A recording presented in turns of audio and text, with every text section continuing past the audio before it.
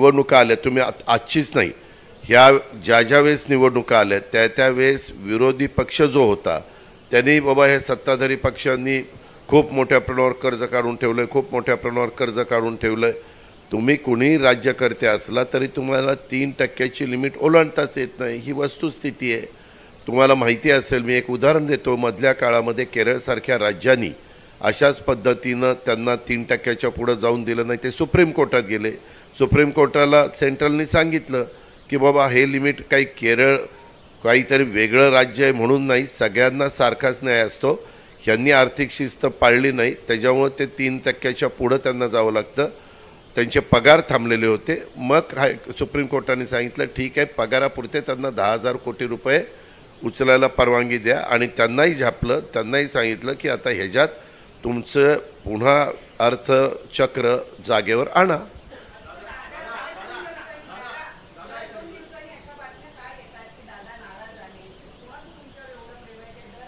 जे बातम्या देतात त्यांचं माझ्यावर प्रेम आहे.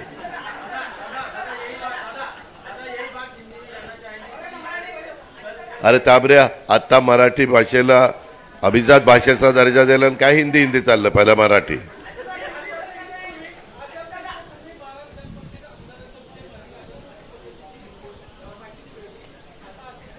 हो का? तो आमच्या कुणाच्या हातात नाही तो राज्यपाल नियुक्त करतात राज्यपालांच्या हातात ते आम्ही काय करणार? राज्यपाल ज्यावेळेस बारा जाहीर करतील त्यावेळेस आम्ही ते बघू. आमचं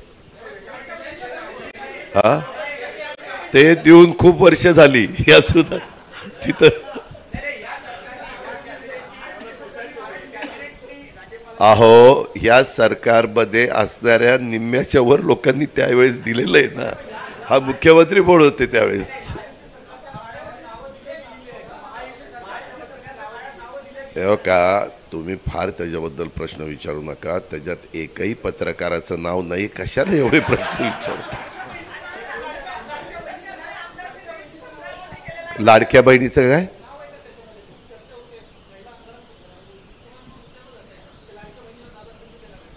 हो का सगळ्यांना शेवटी काय तुम्हाला पुढं जायचं म्हटलं तर वेगवेगळ्या क्षेत्रातल्या मान्यवरांना संधी त्या ठिकाणी द्यावी लागते.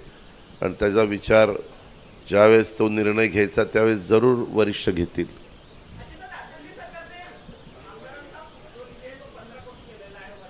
आमदारांचा? प्रत्येक वर्षी?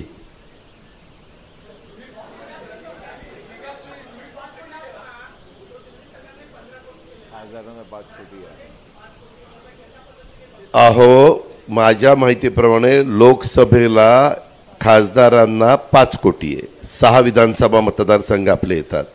दिल्ली एवढं एवढं आहे. आणि दिल्लीचा खर्च त्यांच्या म्हणजे त्यांचं उत्पन्न पण चांगलं आहे त्याबद्दल दुमत नाही. त्याकरता त्यांनी दिलेलं आहे. आम्ही जरी पाच कोटी निधी मला खरं तर दरवर्षी वाढवायचं होतं एक एक कोटीनी परंतु नंतर मध्ये मी जरा म्हणजे सरकारच्या बाहेर होतो. परंतु पाच कोटी दिलेला असला तरी वेगळ्या मार्गाने आम्ही त्या त्या विधानसभा मतदारसंघात भरघोस निधी दिलेला आहे.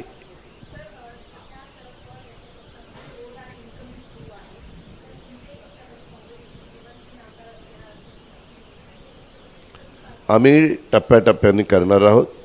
आम्हाला आमचे जे आमदार आहेत आमच्या आमदारांमध्ये आमच्या असणाऱ्या जागांमध्ये जवळपास चाळीस बेचाळीस जो लोक सिटिंगच आहेत. समोरच्या बाजूला तेवढ्या जागा रिक्त आहेत त्याच्यावर तेवढी त्यांना जास्त संधी आहे. आम्हाला संधी बारा पंधरा वीस पंचवीस अशा पद्धतीची आहे. तर आमची चर्चा चालू आहे. ज्यावेळेस एक एकदा आम्हाला कळेल की ही जागा बी जे पी ही जागा एन सी पी ही जागा शिवसेना त्यावेळेस ह्या गोष्टी आपल्याला पाहायला मिळतील. परंतु त्याच्या आधी त्या बाकीचे ते त्यांचे तुम्ही स्टेटमेंट बघायला पाहिजे की त्यांनी आयाराम गायारामच्या बाबतीमध्ये काय स्टेटमेंट केलेली होती आणि तेच आता आयाराम गायाराममध्ये सामील झालेले आहेत. निवडणुका जवळ आल्या तर अशा प्रकारच्या घटना घडतात. तुम्हाला आठवत असेल दोन हजार चौदा साली देवेंद्रजींनी पण अनेक लोक काँग्रेस आणि राष्ट्रवादी काँग्रेसची ह्याच एवढ्याच परिसरामध्ये प्रवेशाचा दणका चाललेला होता. त्याच्यामुळं शेवटी जनता जनार्दन महत्त्वाचं असतात का नेते पण महत्त्वाचे असतात. परंतु आम्ही त्यांच्याकडनं ते तिथून सुरुवात करायच्या ऐवजी आम्ही सिने अभिनेता अभिनेता सयाजीराव शिंदेंच्यापासून सुरुवात केलेली.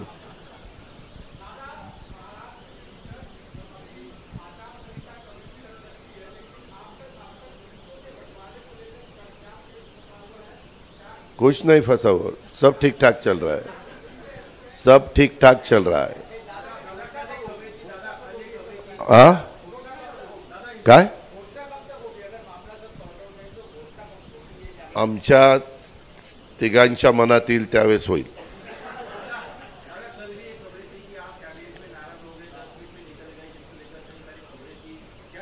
ते दादांत खोटी बातमी आहे. माझं का? मराठीत कळत नाही काय सगळ्यात भारताला कशाला सांगायचं? माझ्या महाराष्ट्राला कळलं पाहिजे. ही बातमी महाराष्ट्राची आहे. तर त्यामध्ये दहा वाजता कॅबिनेट होती. भुजबळ साहेबांना माहिती आहे. भुजबळ साहेब माझ्या उजव्याच बाजूला तिथं बसतात. आणि मी पहिलाच कार्यक्रम अहमदपूरला घेतला होता. मला तो कॅन्सल करायचा होता. तिथल्या आमदाराचा निरोप आला. म्हणलं आज दुखवट आहे. ते म्हणले दादा आम्ही हार तुरे काही काही काही ठेवत नाही. फक्त शेतकरी मिळावे. शेतकऱ्यांना मार्गदर्शन करा. आपण तिथं ह्यांना रतन टाटांना श्रद्धांजली अर्पण त्या ठिकाणी करू. आणि दोन मिनटं स्तब्ध उभं राहू. आणि तेवढं भाषण करा आणि तुम्ही जावा. मला एकला टेक ऑफ होता. मी दहाला तिथं पोहोचलेलो होतो. आपण तिथं डायरी आहे किती वाजता अजित पवार आला आणि किती वाजता गेला. तर दहा वाजता गेलो. साडेबाराला मी उठलो. एकला टेक ऑफ घेतला. तिकडं गेलो तो कार्यक्रम केला आणि परत आलो. ह्याच्यापेक्षा काही नाही. कधीकधी आपल्याला काम असल्यानंतर आत्ता तुम्ही काही बसलाय आणि एखाद्याला पुढचं विमान पकडायचं असेल स- आठ साडेआठचं तर पटकन आता मी जातो. माझी विमानाची वेळ झाली म्हणल्यावर निघून जाताना तशा पद्धतीने मी गेलो. ह्याच्यापेक्षा जास्त काही नाही. पहिले महत्त्वाचे विषय हे जवळपास त्या ठिकाणी घेण्यात आलेले होते. आणि मला कुठले कुठले विषय आहेत ते सगळे माहिती होते कारण तुम्हाला माहिती आहे विषय येताना फायनान्स मिनिस्टरची सही असते चीफ सेक्रेटरीची सही असते डी सी एमची होम मिनिस्टरची सही असते सी एमची सही असते. त्याच्यामुळे त्या बातमीमध्ये अजिबात तथ्य नाही हे मी जबाबदारीनं आपल्याला सांगतो.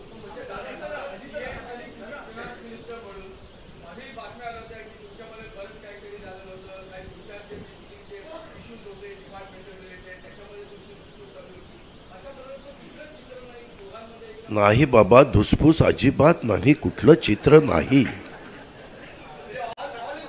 ऑल इज वेल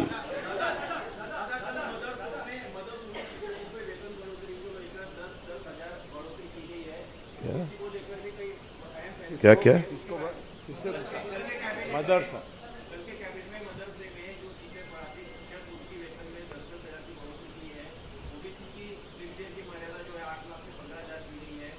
पंद्रह लाख। नहीं वो निर्णय हुआ ना आपने पढ़ा ना आज? निर्णय